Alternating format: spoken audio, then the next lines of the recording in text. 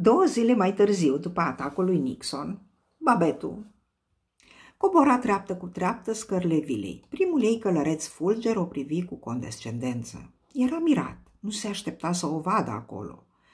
Ea încerca să fie calmă, să nu lase nimic din gândurile ori îngrijorările ei să ajungă până la el.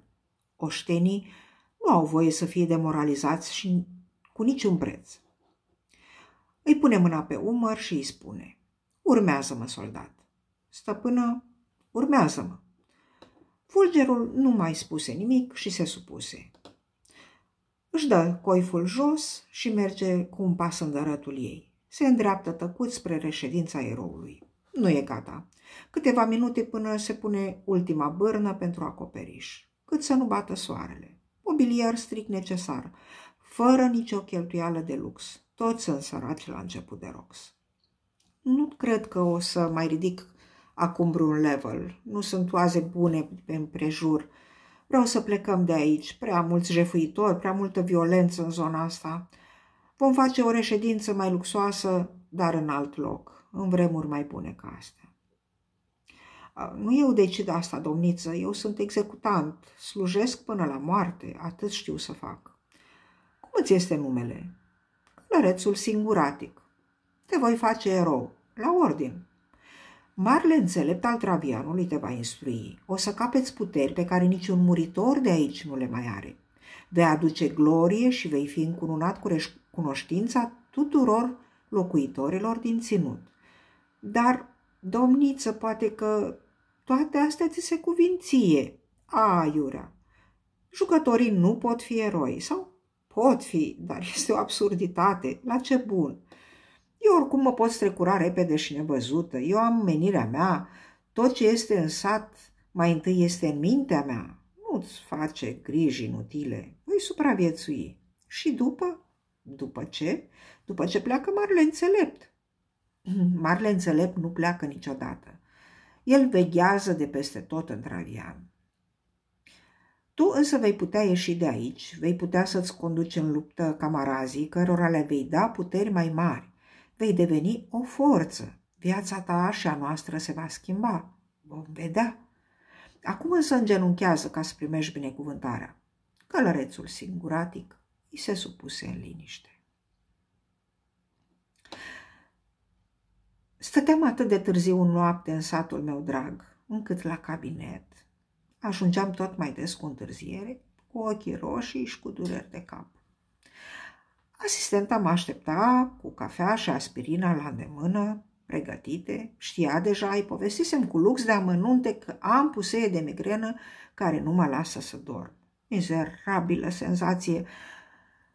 Ajunsesem să mint mai rău decât alcoolicii.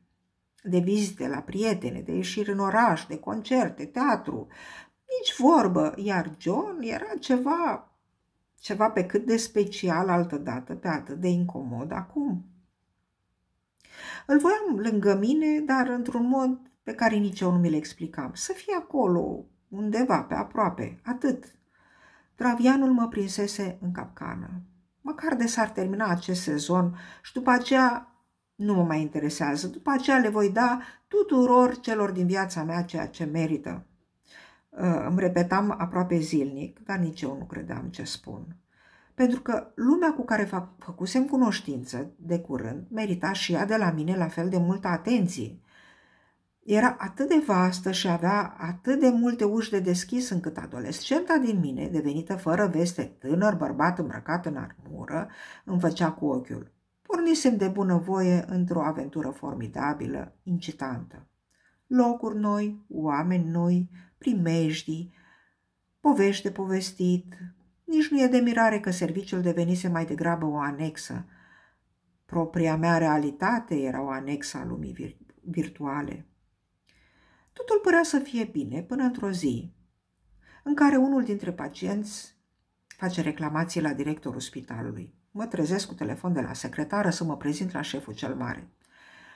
Oarecum jenat de ce trebuie să facă, mă anunță că este o sesizare din partea unui pacient și că trebuie să dea un răspuns.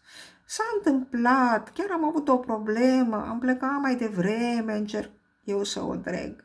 Colega, Nu am nevoie de explicații, de scuze și nu mi-o lua în nume de rău. În definitiv, avem o meserie liberală, dar poate rugă și tu asistenta să fie mai diplomată și, dacă este ceva, anunță. Pacientul nostru, stăpânul nostru, știi tu, eu trebuie să dau un răspuns omului.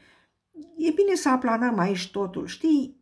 Reclamagiii se vor duce la Casa de Asigurări, la Consiliul Județean, la Colegiul Medicilor, la tribunal. Cine îi mai oprește în ziua de azi? Deci nu mi-au luat nume de rău. Nu o să se mai repete, promit. Și cum un rău nu vine niciodată singur, mă trezesc ajuns acasă, eu și Protos, fără alianță, așa bicisnică cum era ea. Încerc să dau de bombo. Jucătorul cu nume Bombo nu mai există. Dăduse delete, cu tot cu ambasada făcută din resursele noastre și alianța se destrămase de la sine. Cum poate cineva să intre în joc, să facă o alianță, să ceară resurse și să dea delete fără explicație? Îmi era de neînțeles. Luase țeapă. Nu puteam decât să plâng pe umărul lui Protos. Nu mai plânge ca o muiere, au fost primele lui cuvinte. Nu, asta nu, nu plâng ca o muiere, bărbații nu plâng, răspund eu. Facem o altă alianță, noi doi, nu avem de ales. Tu vei ține ambasada, eu voi căuta jucători, mă pricep la oameni, crede-mă. Ori jucăm, orice facem. Cum zici? Ce nume să dăm alianței? 300? De ce 300?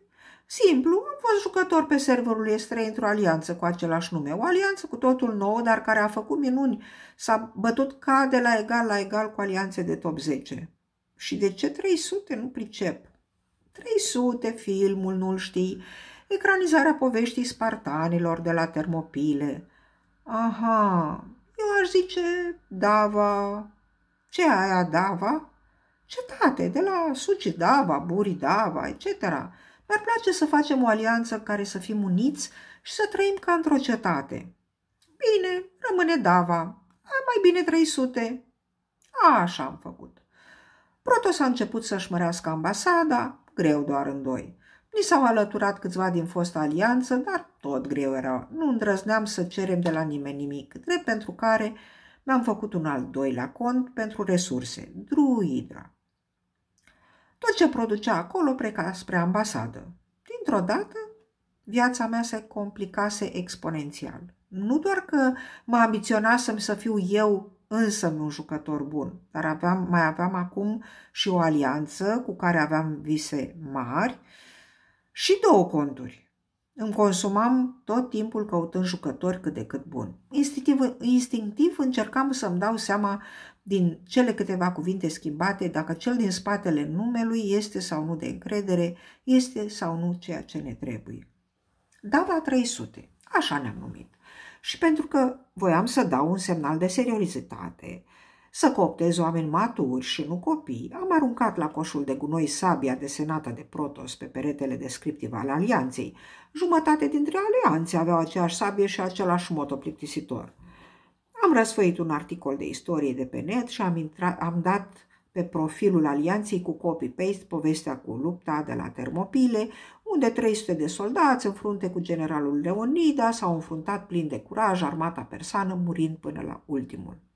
Povestea se pare că a plăcut. Mulți îmi spuneau, intru cu voi pentru că mi-a plăcut descrierea alianței. Protos nu a zis nimic de schimbare, deși orgolul lui suferise puțin. Între bărbați se acceptă. Nu îndrăzneam să-i spun adevărul despre identitatea mea. De fapt, nu spusesem nimănui că sunt femeie și cam 47 de ani, ori, ori nu mi-ar, m-ar fi crezut, ori nu ar mai fi avut încredere în mine. Cel puțin așa credeam. Încet, încet ne-am adunat vreo 40 de jucători. Majoritatea noi în joc, renegați de alianțe mai mari, însă toți motivați suficient de mult încât să stăm umăr lângă umăr. L-am cunoscut pe Mircionius, un dac novice la primul server, dar inteligent și plin de ambiții. În viața de zi cu zi, lucra la o tipografie și avea mai tot timpul acces la internet. L-am numit general defensiv. Nu avea experiență, cum nici noi nu prea aveam, dar își dorea ca și noi să joace bine.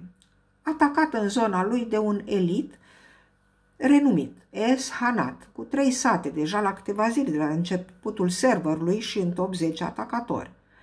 Mai mai curajos decât mine, a intrat în vorbă cu el. Îl întreabă pe tiran de ce insistă dacă nu ia nimic, ori pierde armată mai mult decât își scoate profitul din pradă. Bătrâne, uite cum stă treaba. Barbarii trebuie să atace. Armata lor este ieftină și se face ușor. E mai profitabil să mergi să furi de la alții decât să-ți dezvolți propriile resurse. Așa este făcut jocul, nu este un mof de-al meu. Și apoi un barbar trebuie să curețe în zona lui tot ce mișcă. Niciun barbar nu riscă să stea în coastă cu un potențial inamic sau cineva cu care să concureze la ferme. Dar pentru că te văd dornic să joci și ai ambiție și pentru că știi să vorbești, o să îți propun un târg. Nu te mai atac, te protejez dacă faci al doilea sat cu condiția să-l faci departe de mine și mai încolo să mi-l lași pe ăsta mie. Dacă vrei, îți voi da ceva resurse care compensă. Ce să fac, mă întreabă Mircionius. Acceptă. Nu avem de ales, i-am zis. Este mai de preț să ne dezvoltăm în pace și, de plecat, mai vedem unde vom pleca. Important e să plecăm toți. Un altul, gol, îmi spune că vrea să fie general ofensiv, că se pricepe la asta, îmi spune că a mai jucat, că nu e începător, elev la informatică în, alter, în an terminal. Dar o să ai timp, nu ai de învățat. Oh, nicio problemă, nu mi este greu să țin un tab deschis câtă vreme îmi fac temele. Am antrenament. Pe druidra, dintr-o întâmplare neașteptată, reușesc să o bag într-un wing din Force. Așa am priceput că între aviani informația este uneori mai de preț decât armata. Șeful lor cel mare, Nixon, avea inspirația să scrie regulat circulare pe care le numea cafele. Prima pe care am citit-o era cam așa. Gata cafeo? Bun. Hai să vă spun azi câte ceva despre alta războiului și psihologie. Arta războiului este o cărțulie scrisă acum 5.000 de ani de un general chinez numit Sun Tzu. Puneți mâna și citiți-o dacă aveți timp. Are vreo 80 de pagini. Această carte se predă în prezent la West Point, așa că pare destul de importantă, nu? O să, întreba, o să vă întrebați cum e posibil ca un manual militar scris acum 5.000 de ani să fie încă de actualitate. Foarte simplu. 90% din ea se referă la psihologia militară. Deși tratează extrem de mine managementul armatei și al resurselor pe timp de război, unele tactici nu mai sunt de actualitate. Dacă ne gândim la sateliți, aviație, computere, etc., ne dăm seama că Șunțu nu avea cum să scrie la vremea lui o carte care să ia toate astea în calcul. Ceva însă nu s-a schimbat în ultimii 5.000 de ani. Psihicul uman. Aici arta războiului rămâne cât se poate de actuală.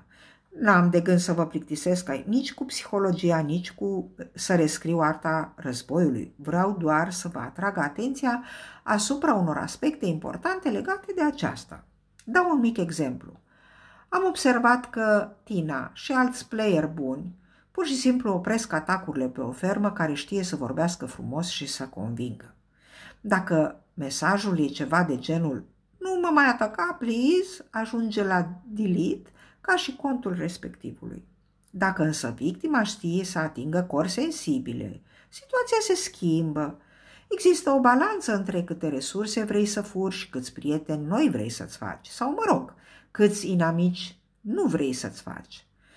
De aici încolo intervine abilitatea fermei de a aduce negocieri.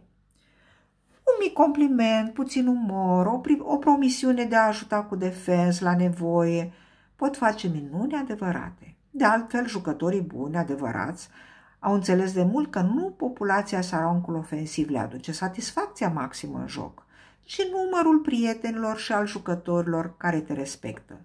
Este, e o chestie care se aplică la fel și în cazul alianțelor.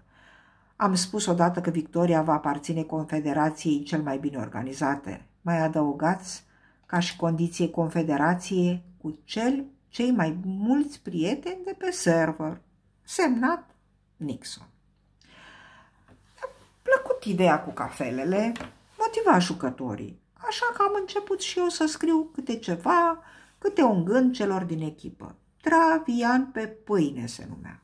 Scriam povești, felicitam jucătorii pentru temiri ce, doar să fie lăudați și să simtă că au un loc al lor în familie. De multe ori primeam înapoi răspunsuri, unii întrebau una, alta răspundeam tuturor. Cred că atunci mi-am dat seama ce îmi place așa mult în acest joc. Era un fel de a doua șansă pentru fiecare să demonstreze unei noi lumi cine este și ce poate. Am înțeles că valorile din viața reală rămân același, aceeași, aceleași valori și în lumea travian. Onestitatea, prietenia, cinstea, istețimea, politețea. Toți ne naștem egal în travian, nu moștenim nimic de la nimeni. Aici, în joc, nu ai pile, nu vii cu mama de mână, nu vii cu funcția lui tata, nu dai telefoane la spuși, pur și simplu ai valoarea pe care o meriți. Iar cei din jur te apreciază sau te sancționează.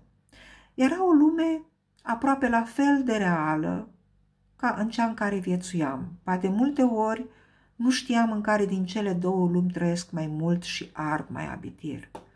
Eram în același timp în două locuri diferite și toate se petreceau în timp real, nu exista zi ori noapte, nu puteai să faci top cadru, ori să-ți iei concediu.